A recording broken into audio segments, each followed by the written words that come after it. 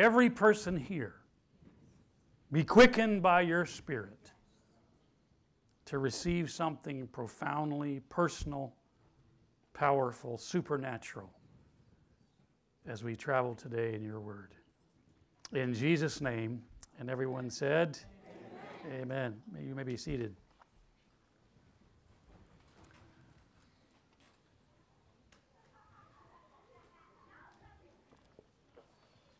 Actually, put your Bible down and stand up to your feet again. I didn't know when I was going to do this, but I knew that the Lord spoke to me that He wanted to release, listen to me now very carefully, a fresh level of grace and favor in this house and that means you. Not just us, but you personally. And so, what I like us to do is, I like to just to uh, have us do a little exercise of faith. You know, faith has some exercises. And so, I'd like us to do a little exercise of faith using the verse that's on the wall behind me that says, Nothing shall be what? Impossible. For the pastor. No, it says nothing shall be impossible for you. So, what I'd like you to do today is I'd like you to access that fresh level of grace right now by taking this little exercise. And I, I didn't make the, this, this came to me from the Lord. Uh, God wants us to do this. Here's what I'd like you to do I'd like you to open your mouth and I'd like you to put the, the word nothing, I'd like you to trade that for whatever it is that is in your life right now. So, as, as, as we all pray aloud, as we all speak aloud, we're going to align ourselves with God, with His Word, with heaven, and instead of saying nothing, we're going to say, My mortgage being fully paid is not impossible, Lord. My sister restored in a relationship is not impossible. Can you do that? And I don't want you to stop until you're finished declaring all those things that are not impossible. Okay? So God told me, He said, I'll release a fresh favor in this house on your life if you'll align yourself with heaven. So open your mouth because that's heaven's gate. Your spirit and your mouth are heaven's gate on earth. And you say it, whatever it is. Because remember, sometimes we, we hold things kind of statically. Well, it's there. But God wants you to speak to it with the word from heaven. So, whatever it is, whether it's your mortgage or your debt or your body or your Whatever it is, I don't know what it you know what it is. And just just carry on. You don't have to stop after you do one. You know the story about the guy who who hit the arrow into the ground three times, and the, and the prophet said, See, now if you'd gone further than that, we'd totally wiped it out. So don't stop, and, unless, of course, you, you only want lesser. All right? All right, so let's open your mouth now and just Align yourself with heaven right now in the name of Jesus. Father, I thank you today that my family is totally in Christ.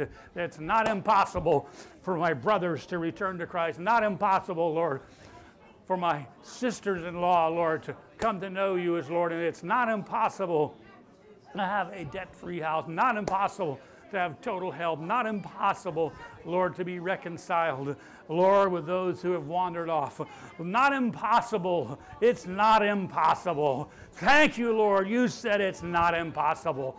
You said it's not impossible that this house would move to another location. You said it's not impossible, Lord God, we'd have our own place. Thank you, Lord. You said it's not impossible that my family will be totally well. Thank you, Lord. You said it's not impossible. It's not impossible, Lord God. Oh, for there to be great expansion and enlargement and increase and fruitfulness. Thank you, Lord God. It's not impossible that revelation will come in the places of ignorance and confusion. Thank you, Lord God. Nothing is impossible, Lord. Thank you, Lord Jesus. Thank you, Lord. Thank you, Lord. Thank you, Lord. Now I want you to clap your hands and thank the Lord. Thank you, Lord, for favor today. Thank you for financial favor, for favor in health, favor in money, favor in business, favor in relationships, favor in marriage, favor in schooling, favor, Lord, with children. Favor, Lord. We thank you for favor today, Lord God. You're a God of favor. Thank you, Lord God. And we declare it today. Thank you, Lord. Thank you, Lord Jesus. Thank you, Lord. God bless you. You may be seated.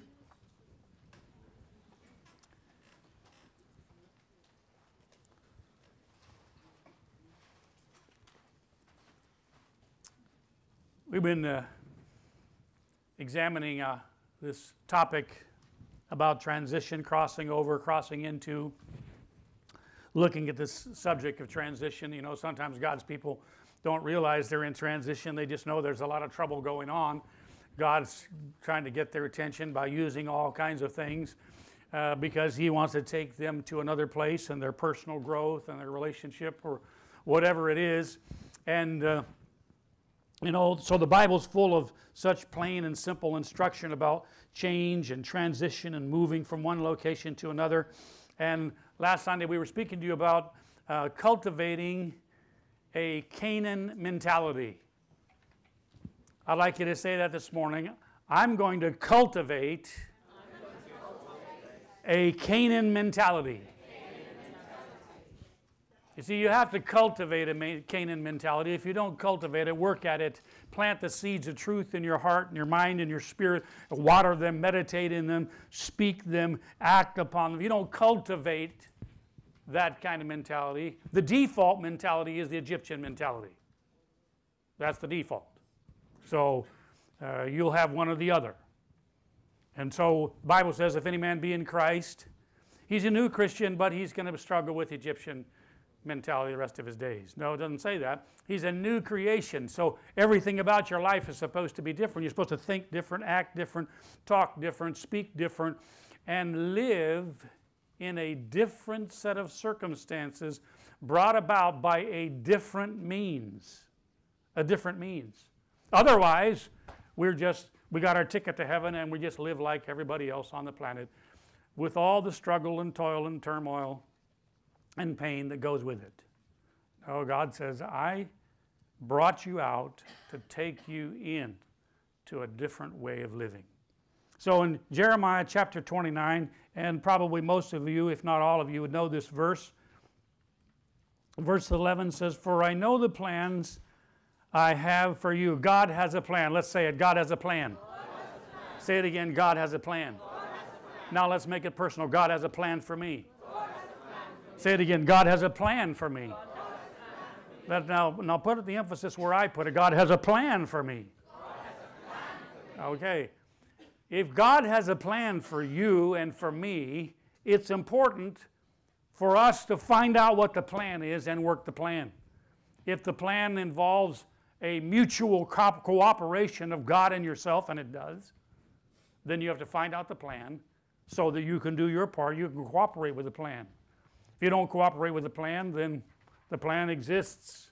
It's there, it's real, but it is, as far as you're concerned, wasted. Many people don't know that God has a plan of salvation. They don't know that God made a plan for the trouble that this planet is in. But when they came to the place where they heard God's voice knock on the door of their heart, God said, I got a plan for a different way of living for you. Give me your life Give me your life, I'll give you my life. This is a plan that'll work. And on that day, you adopted the first part of God's plan for your life. So God says, I got a plan. I'm, it's not just kind of a crazy mixed up world, and I hope you make it. I know the plans. Everybody say plans. plans. That's plural. So, whatever there is in your life right now, there is a plan for it. there's a plan for it. You know, I have in my journey found myself with a lot of frustration and disappointment when I have not appealed to somebody else's plan for my circumstance.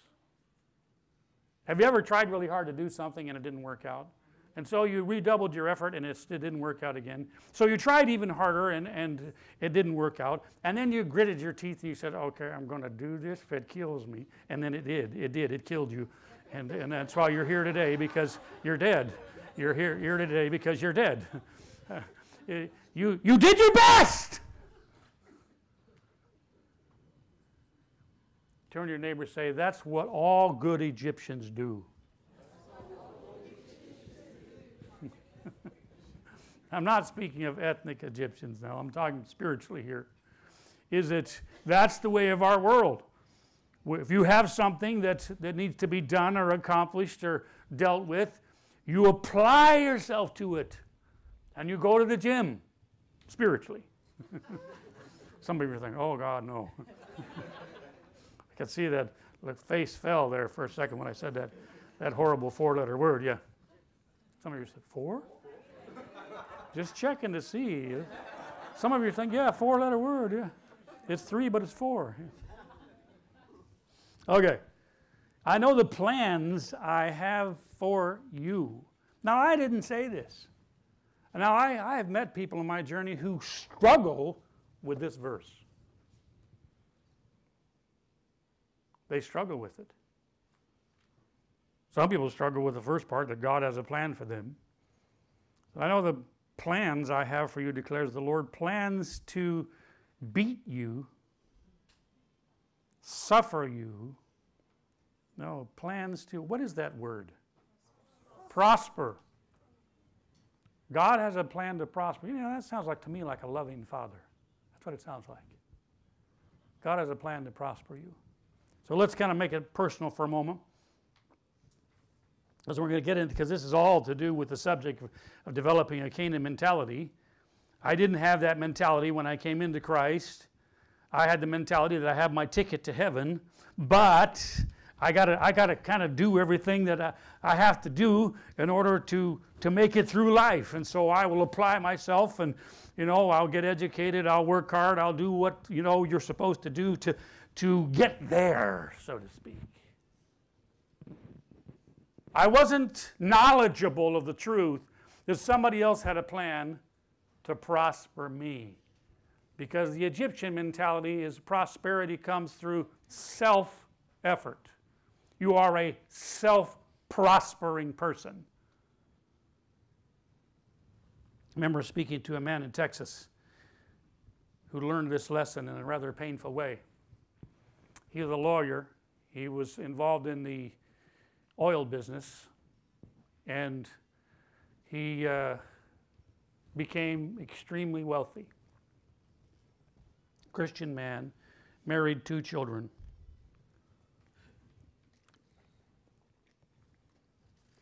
And uh, like you, he went to church services, owned a Bible, prayed, but he said, I didn't realize that what I had amassed was sitting on a certain view of myself.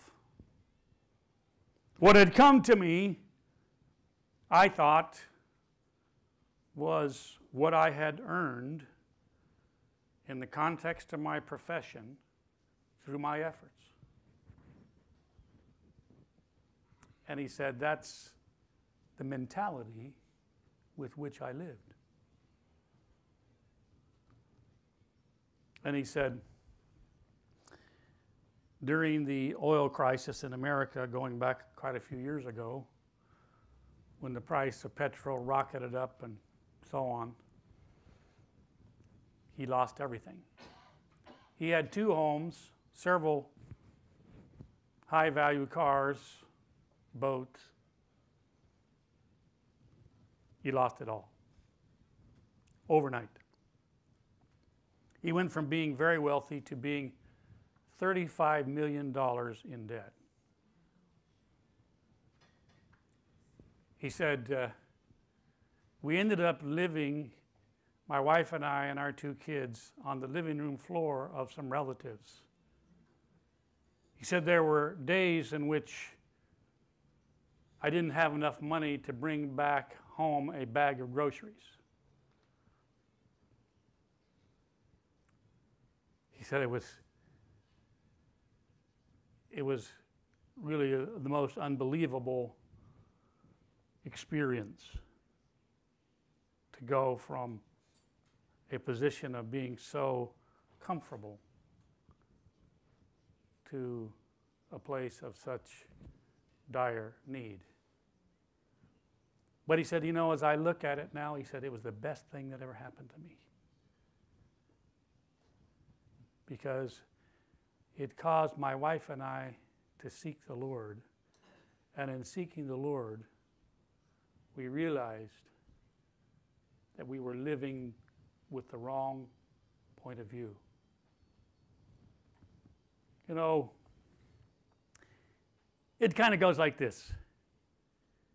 If you made a lot of money because you got an education and et cetera, and got into the right career and so on, and had right opportunities, you could think, like a good Egyptian, I'm fortunate. Or to use another word, lucky. and I, I did, I went to the school, I did this, I did, oh, well, tell me, where did you get the breath to breathe? Hello. Where'd you get the energy, the mentality? It all comes from Him. It all comes from Him. And he said, What happened to us, he said, was the best thing. And he said, You know, we, we cried out to the Lord and we repented for believing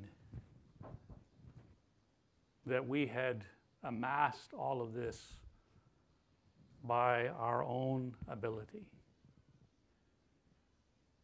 We had achieved this through effort and work and you know, if, if that's the way you see it, then that's the way it is for you. Ultimately, everything we have comes from Him. God said, when you came to Christ, He said, I want you to learn a different way. You can work in this world, but the blessing that is to come to you is to come to you not because you are earning it, because I bless you with it. And he said, we, anyway, we cried out to the Lord and we, we, we repented of our own self sufficiency and self dependence. And he said, I didn't even realize how much pride I had just because of kind of what a, the sequence of how I'd gotten there. But he said, I want to tell you today, he said, our whole family, everything has changed. I'm back in employment. I have a job in another law firm. He said, I have $5 million in the bank. And he said, There are lots of people who are coming to know Jesus across the globe because we're sowing like crazy into God's mission and God's purpose. And he said, Our lives have totally changed. And we know that every penny that's in our account got there because God said, I took you down to zero so I could show you what grace looks like. I could show you what favor looks like. I, I, I wanted you to see, you know, the, what you get by your own, as the Bible says, can go just like that. But when it comes from me, the blessing of the Lord maketh rich and adds no sorrow. So it's, it's developing a Canaan mentality. And so he says, I have a plan to prosper you, not to harm you, plans to give you a hope and a future. I believe that that's where we must learn to live, is that God's plan is to prosper me. And you would say, but wait, wait, wait, wait, wait, wait, a minute, Pastor. But doesn't the Bible also say, in the world you shall suffer tribulation? It certainly does. It certainly does. But how many of you would rather suffer tribulation with more than with less? All right, and the rest of you, you're just going to be content to be totally miserable. so, yeah, I'm, I'm not saying that, uh, you know, when God blesses you, you, you know, you exit this place. No, you, God, God blesses you so you, you can accomplish working with Him things that He has on His heart and stand up to all the trouble that comes, as we'll see. And I believe the whole story of Israel is, is such a, a powerful lesson here. Turn with me to Psalm 112. Psalm 112.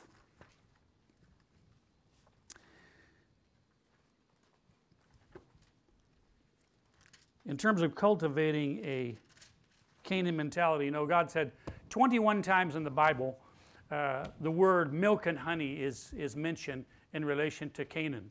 21 times.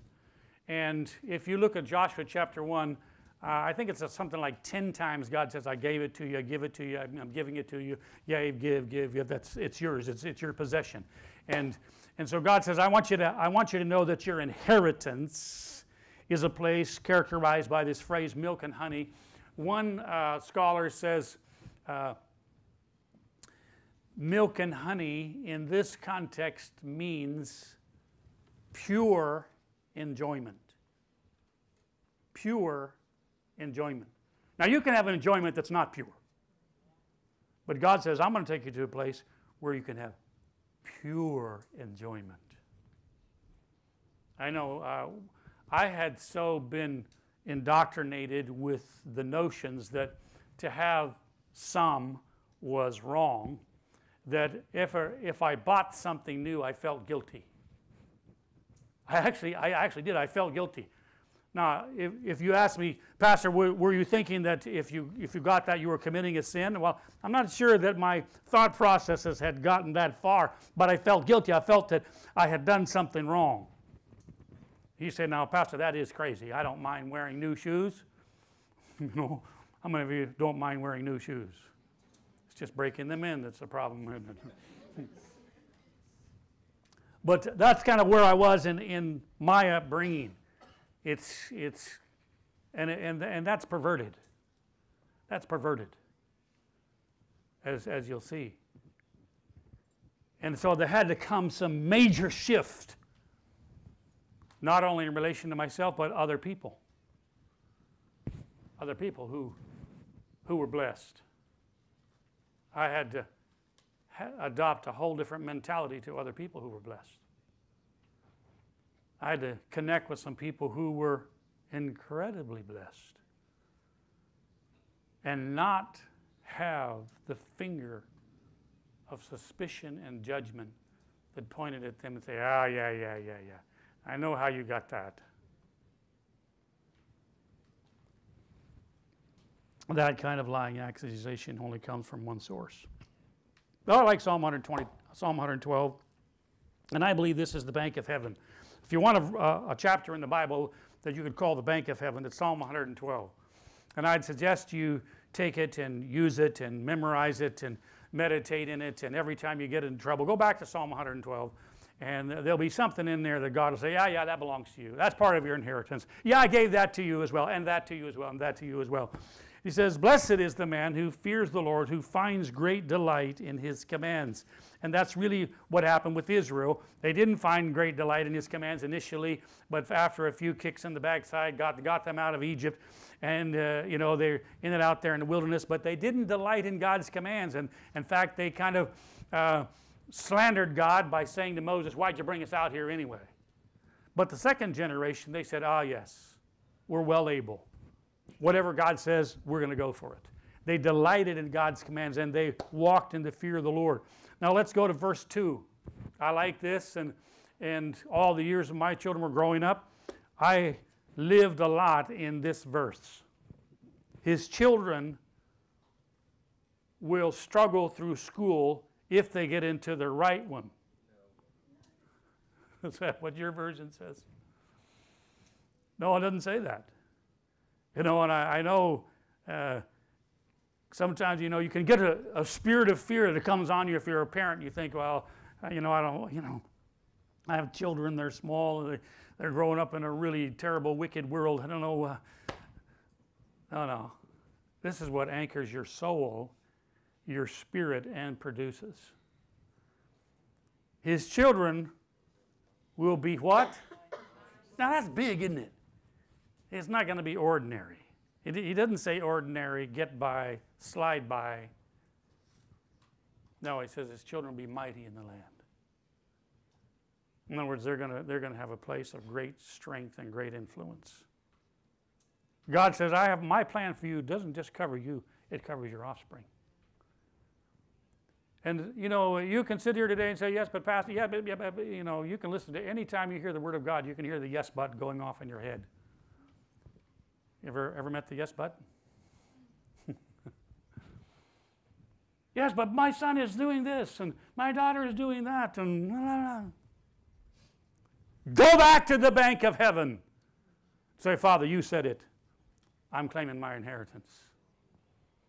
And every day across this globe, there are boys and girls that are not so young anymore that are coming back to Christ and coming back to their families. Because God said, My plan for them was that they be mighty. And there was a mother and a father who were praying and believing and, uh, and asserting and declaring and claiming this favor for their kids. It's a different mentality. I've watched the tears stream down the face of parents who thought that their daughter or their son had no hope and no future because of the course they'd taken. If you're going to have a yes but go on in your head and come out your mouth, it should be wait a minute, that's not the final story. That's not the last word. This is the last word, as far as my children are concerned. His children will be mighty in the land the generation of the upright will be struggling.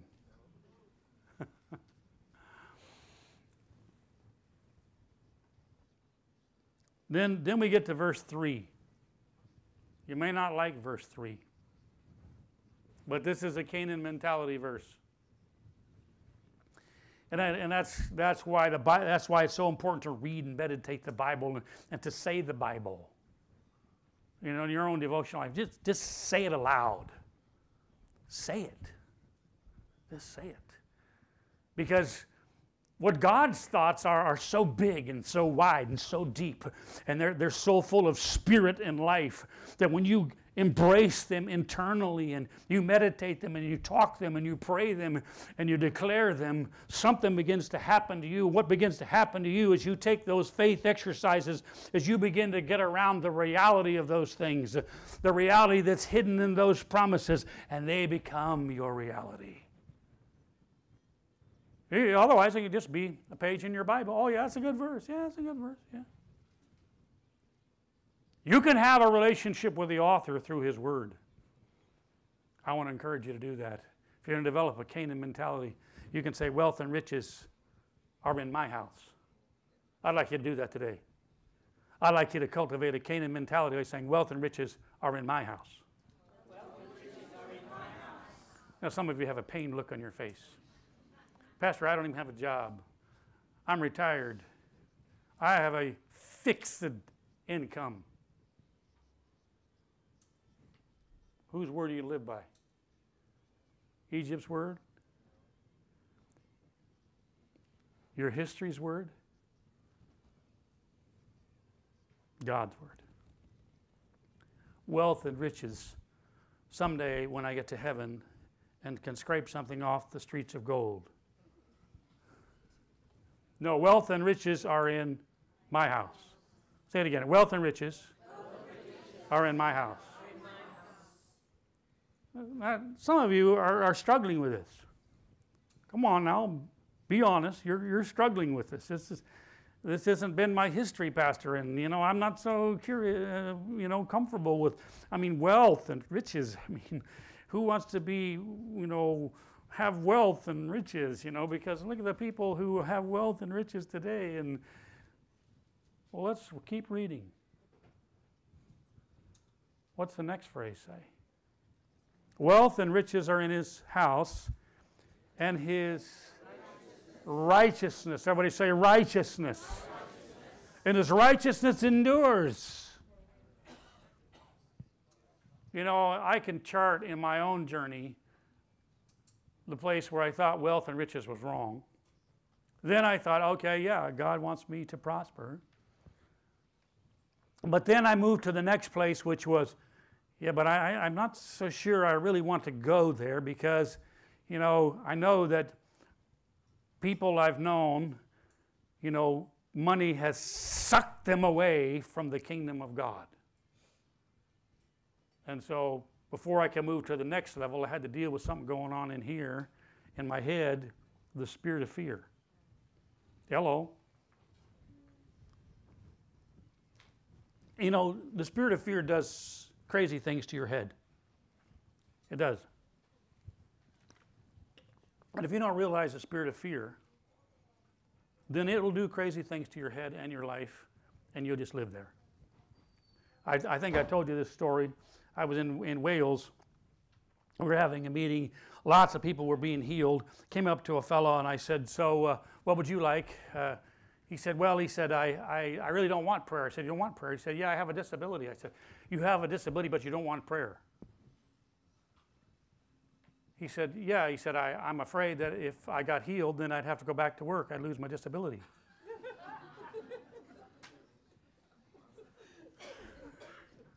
you know? Think, okay, I mean, we need a little lobotomy here, spiritual one, you know, little brain transplant here. If, if I get healed, I will lose my disability and then I'll have to go back to work.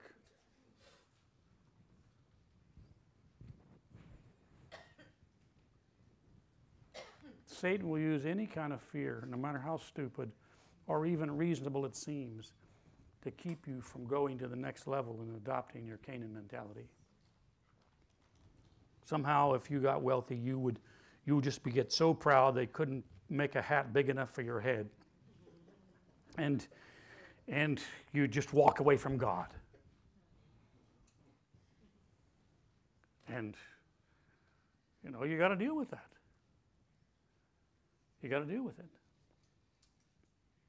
And I'm going to tell you how to deal with it in a very practical way.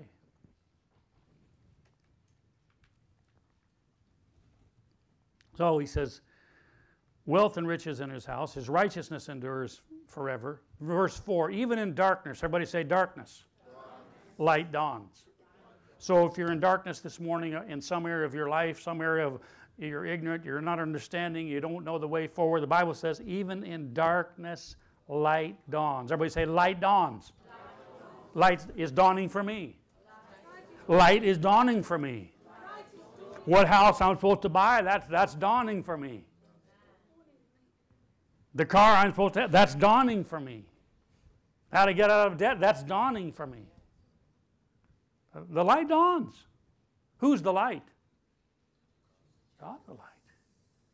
He said, I got the key to that. I got the key to that. Even in darkness, light dawns for the upright, for the gracious and compassionate and righteous man. Verse 5 Good will come. Everybody say, Good will come. Good will come. Say it again, Good will come. Come. Now let's, let's make it personal. Good will come to me. Come, on, say it. Good will come to me. No, you didn't say it like I said it. Good will come to me. Now good will come to me. So good can come to you. You see, this is. I know. I, I listened to a woman at, at a checkout telling the pharmacist that she only had five more years to live. And the, another woman standing there said, "What? So what are you suffering from?" She said, uh, "Nothing." But she said, "My mother died when she was five years from now, so I, I will die then. Now that's the opposite of good will come to me. That's death will come to me. death therapy. No, good will come to me. Good will come to me. Now, notice the, the way it's phrased. It doesn't say, I'm going to go after good. Hello. That's Egypt. Good will come to me. So I'd like you to speak to good. I'd like you to speak to good. Say, good? good. Come. Come. Say, good? good. Come. Good? Come. Come to me. This week. Good? Come to me. Thank you, good. I know you heard me. You're on your way. I welcome you. You felt better for saying that, didn't you? I could tell some of your face changed, you know. Oh. You know, the best therapy is in the Bible. It is. Good will come to him who is generous and lends freely who conducts his affairs with justice, verse 6, he, surely he will never, never be shaken. Never be shaken. Now, you can have shaking circumstances. I don't think probably there's probably nobody here who hasn't had some of those at one level or another. What shakes you may not shake somebody next to you. But if you live in this life, it's constantly rock and roll. There is a drama that's coming if you haven't had one already. Hello? But it isn't the drama that's coming that makes the difference about your future, it's how you handle it. God says, I My plan for you, so that when the wind blows and the hurricane comes and this fire comes and all that, all kinds of crazy stuff that happens, it won't shake you. Won't shake you. Won't shake you. You know, sometimes you just have to get honest with the Bible. Say, well, you know, this, this is what it says. This, this may not be my history, but this is where I'm going to live, the mentality I'm going to have. Never be shaken. A righteous man will be remembered forever. Verse 7. Wow, this is, this is a really good one. He will have no fear of Brexit. No, he.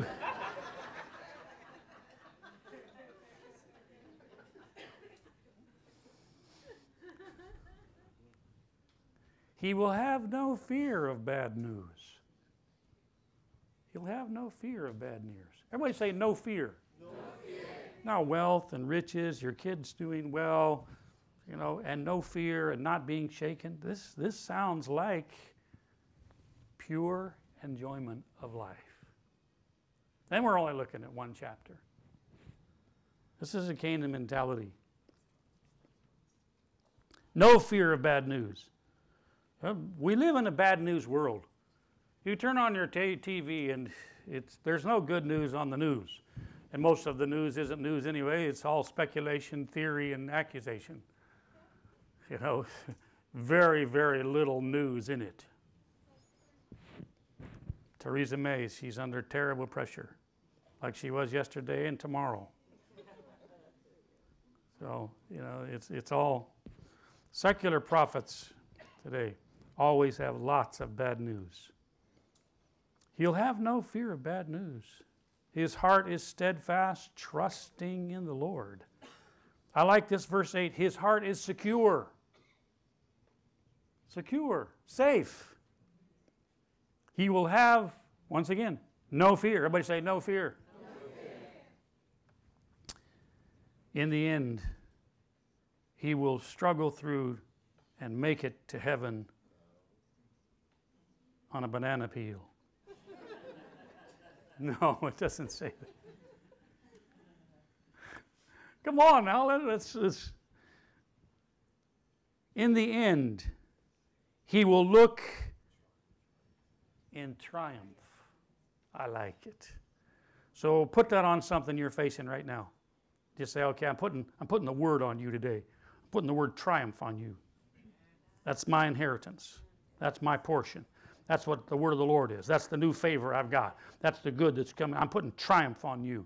That's, that's, the label I'm putting on you. You've been in my head something else, but I'm putting triumph on you. That's the new label I'm putting on you.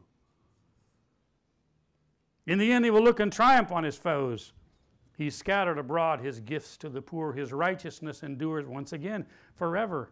His horn will be lifted high. Everybody in the world is trying to get their horn lifted up. In other words, exaltation. We live in a selfie world, you know, and this whole thing of self promotion. You know, God wants you to be promoted, and He'll promote you with purpose. With purpose. And that'll be healthy, and that'll be influential for a good cause. The wicked will see it and be vexed.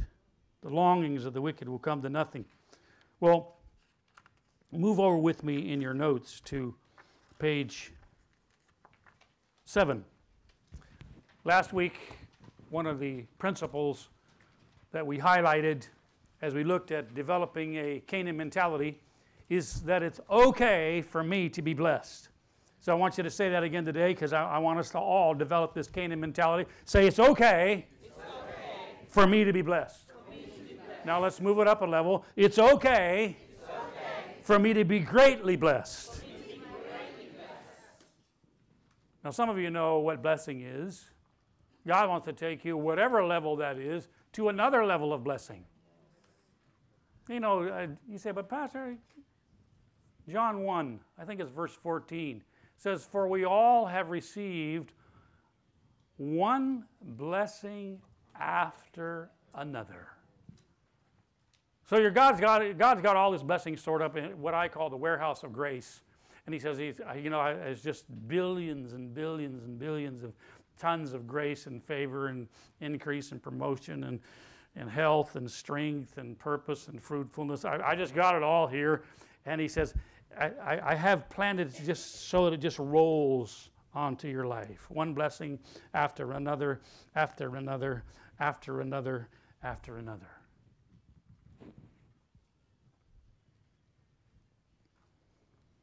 One blessing after another. It's okay for me to be greatly blessed. All right, looking at your your uh, little graph there on kind of the life that you used to have.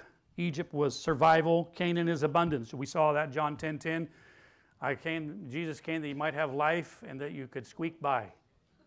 No, no. You came that you might have life and that you might have it abundantly. Have it to the full. Abundant life. Abundant life. Not enough. Generous. We saw that and we looked at that last week. We went to that very big, controverted verse in the Bible where God says, I will make you rich so that you can abound in good works.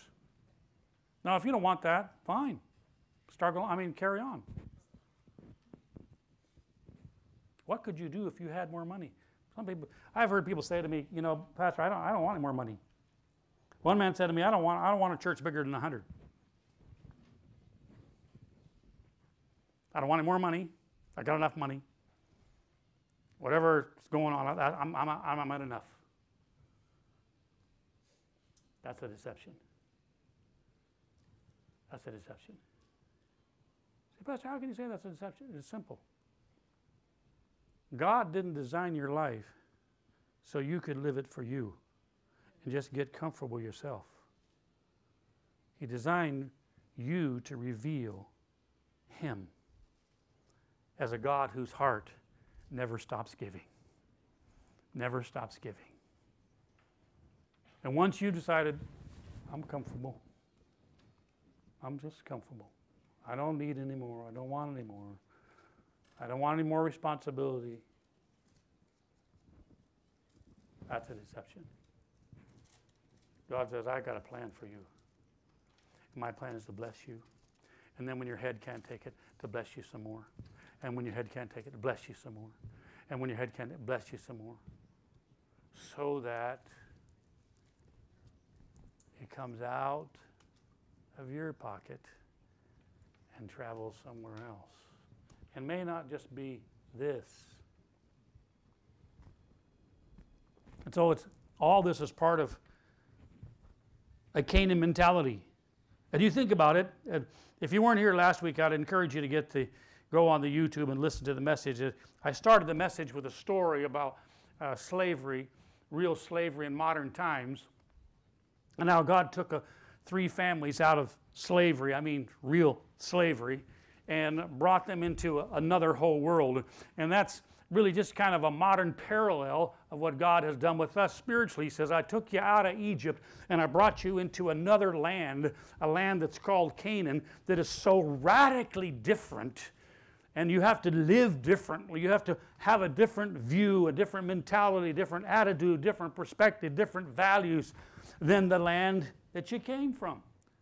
So God is saying to us all, I want you to adopt a mentality for the location that you are now in. Stop living like you were in Egypt and start living more like you're in Canaan. Live with the Canaan mentality. In Egypt, as you know the story, they did everything with toil, blood, sweat, and tears. But God says, I'm going to give you rest with your labor. You'll, you'll need to work, but you'll have rest. You can enjoy your work. In Egypt, they had oppression. God says, I'll promote you. We looked at those verses. Egypt was works. Everything you got, you got through your own hard work. If you were making brick, you had to make a brick for your slave driver. And if you got any money for it, then that's the money you had to do with whatever. And that's all you had. And that's the way our Egyptian system is built today. What you have is what you got. And if you don't get much, that's sorry, that's just tough luck. You didn't get educated, you didn't have the right opportunities, you didn't choose the right career, you didn't have the right skill set, uh, your, your face didn't fit when you went to, you know, and somebody didn't like you or your relative or whatever. So, you know, you just, just, just your future was just messed up from the beginning. Sorry, that's, that's, that's life. That's life. Well, that's life in Egypt. Not life in Canaan. It's a grace. God says, I'm going to give you cities you didn't build, houses you didn't build.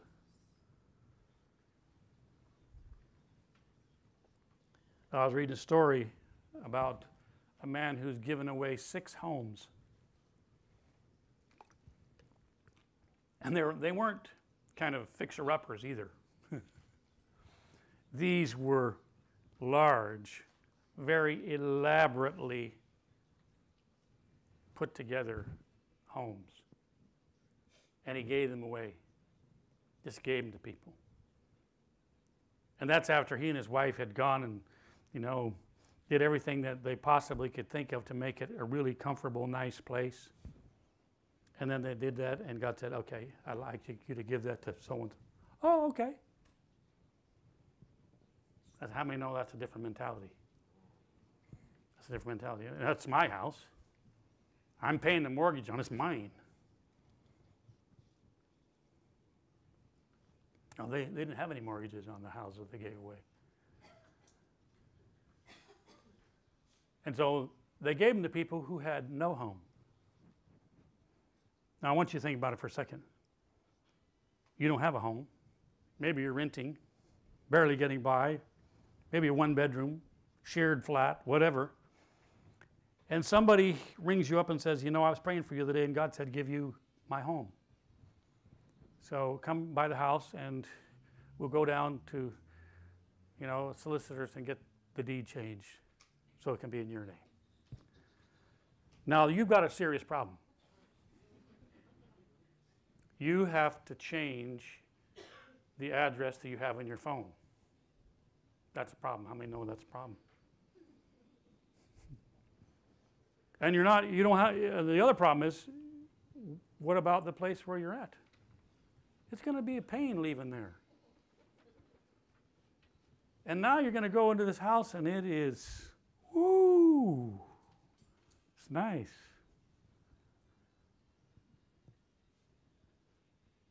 And so you're, you're living there, but you didn't buy it. You didn't get a mortgage for it. God gave it to you. So, what are you going to do with that? What you do is you get big shrubs and you put it all around the house, let them grow up really high, so no one can see how you are blessed. Because you don't want other people to think that you're one of those. No, no. You, you're a walking testimony. You're a walking testimony. Why am I saying this? I'm saying this because I believe that the cross of Christ covers the whole scope of the human condition. Everything from your finances to your education to your employment, your, your relationship, your family, your ministry, your call, everything is covered in the cross of Christ. So if Jesus said, I scrubbed your record clean, I made you whiter than snow so that you could have an eternal relationship with me, would he stop there and just say, okay, yeah, you got your ticket now? Maybe somebody should come along and shoot you so you get to heaven. No, he said, in the warehouse, I've got everything else for your life because I am the way, the truth, and the life.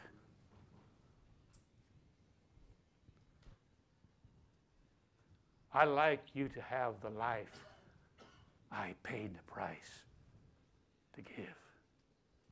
After all, you pray it when you pray the Lord's Prayer.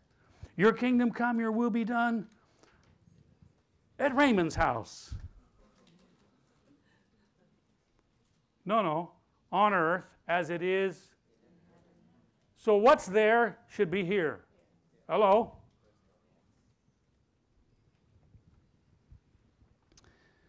Grace. I'll give you houses.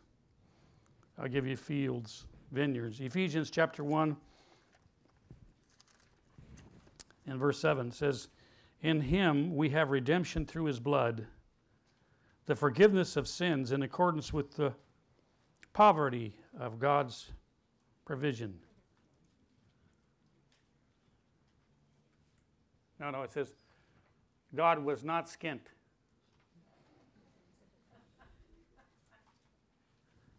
It says, in accordance with the riches of God's grace. Right? The riches, God, you put those two words together, riches and grace together. Riches of God's grace that He lavished on everybody else but me. No, He says He lavished on us with all wisdom and under. God knew what he was doing.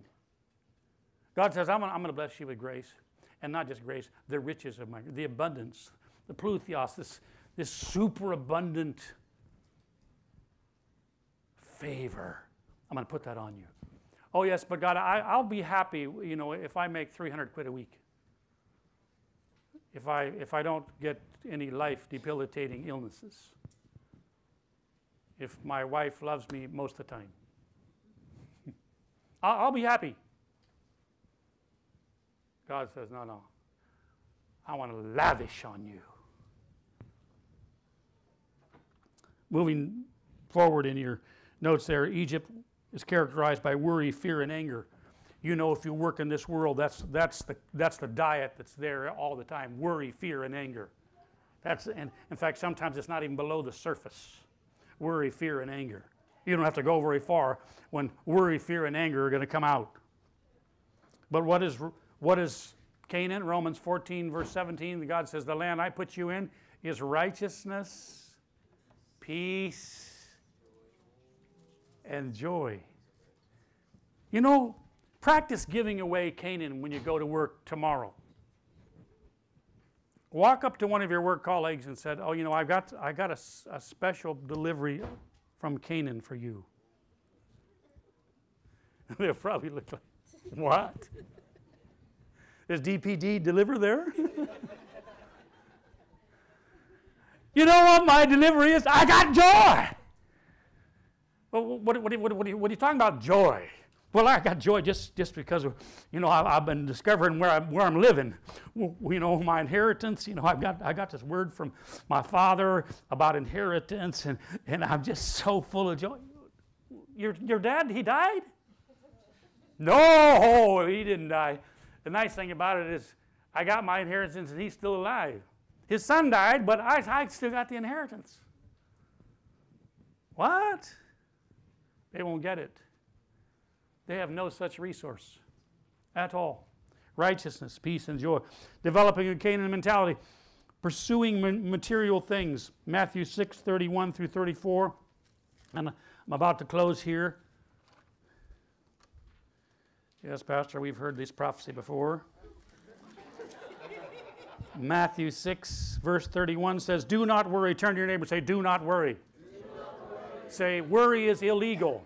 Worry is. Say it again, worry is illegal. Worry is illegal. Say, You're not allowed. You're not allowed. You're not allowed. Now, some of you are been, you know, could be arrested seriously. Mm-hmm. Well, I'm not saying making this, that's a command. God says, do not worry. So if you don't worry, what do you do with what's going on in your head? Believe. You see, worry is a form of belief, it's believing the, the negative. Trust is believing the promises. So do not worry. Do not worry.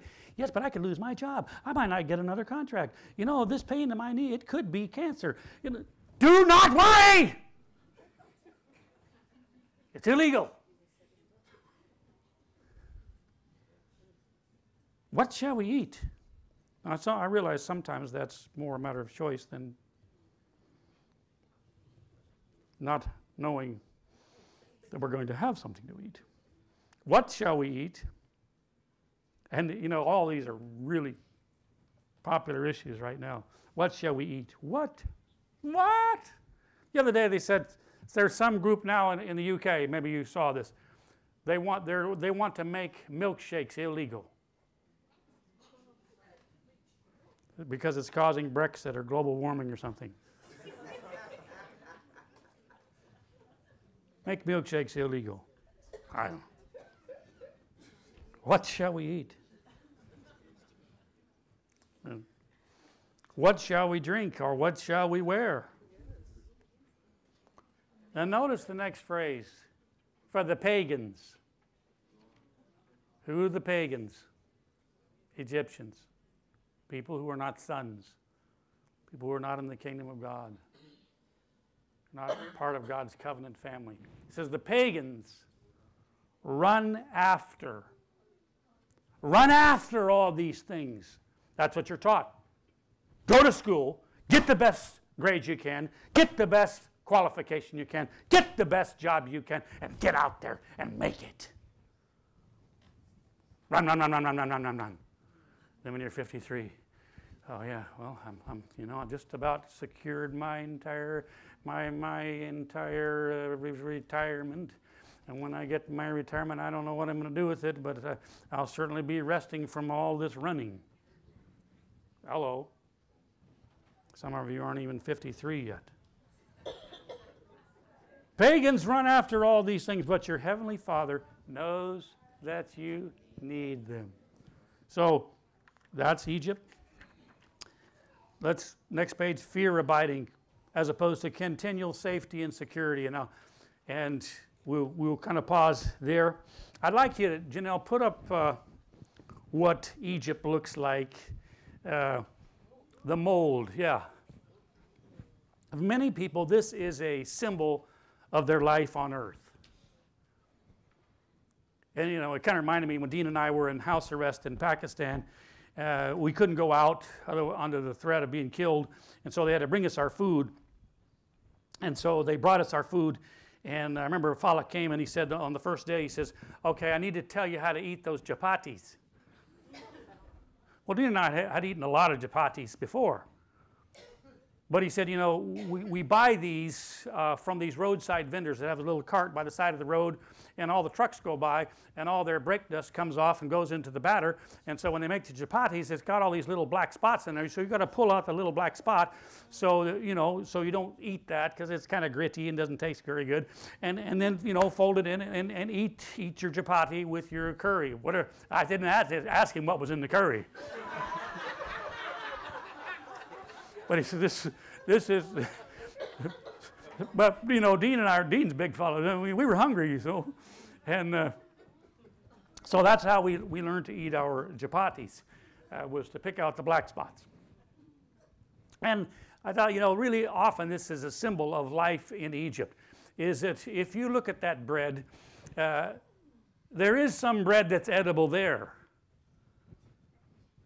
So I downstairs, down, downstairs, I've got two guys. It took me a long time to get the bread in this condition so each of you could have a slice before you went home.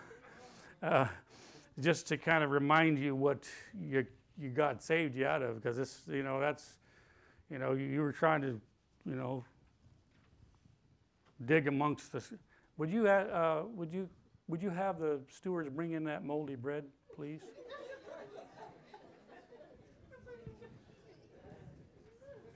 In the boxes down by the entryway? No, Chris, Chris, Chris.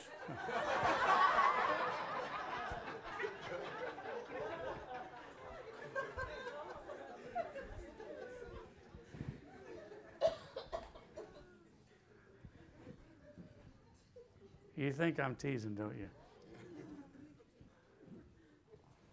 If I am, I'm teasing for a purpose.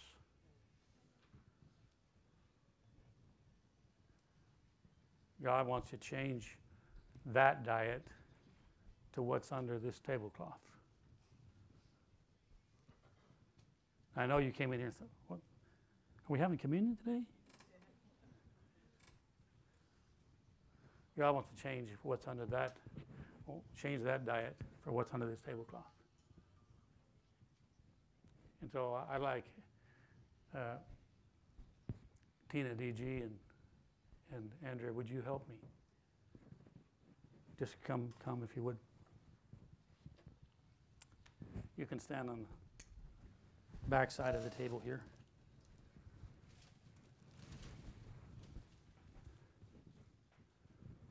I wanted you to take something with you today that is a symbolic picture of a Canaan mentality.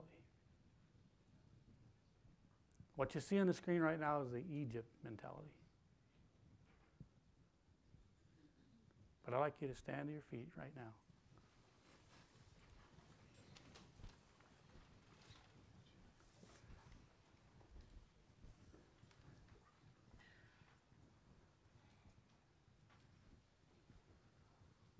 Because I'd like you to remember as, as you walk through these days and we finish this year and we go into next year.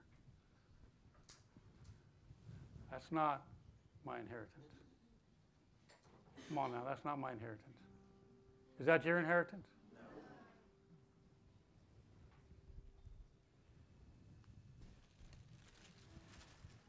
What is your inheritance is symbolized more in what's under this tablecloth. Would you like it? You're saying, we pastor, we trust you. and I tell you, you know, Canaan was a land, one Bible scholar says it was a delightsome land. It was a land filled with delight. There was milk and honey. It was a place of sweetness. And that's, that's what's under this tablecloth. So I'd like you to form a line down this aisle here and come to get some Canaan. See, this is your, your walk of faith. You say, but Pastor, we, we don't even know what's under that tablecloth. Why do you think this series of messages? You got to spy out the land. And when you spy out the land and you see what's, what's there, you say, Yeah, I'll have that.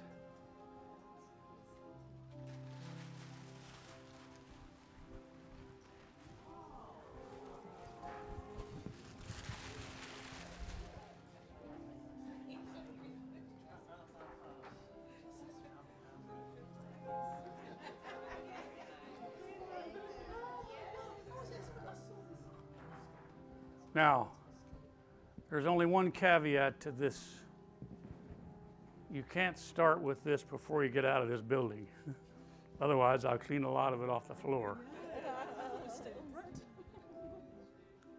So I want to pray right now. Close your eyes right now.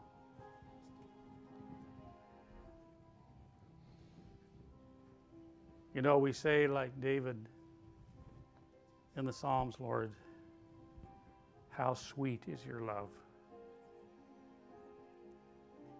How much we delight in your love and your loving kindness.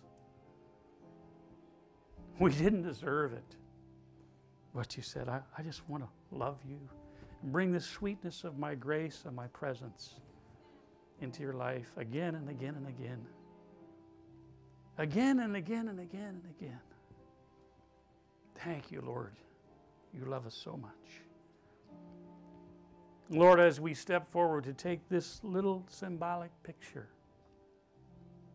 of the new life that you have provided for us, may we be reminded continually of the constancy and the faithfulness of your sweetness and of your love for us. In Jesus' name. And everyone said, Amen. Amen. All right, you may come and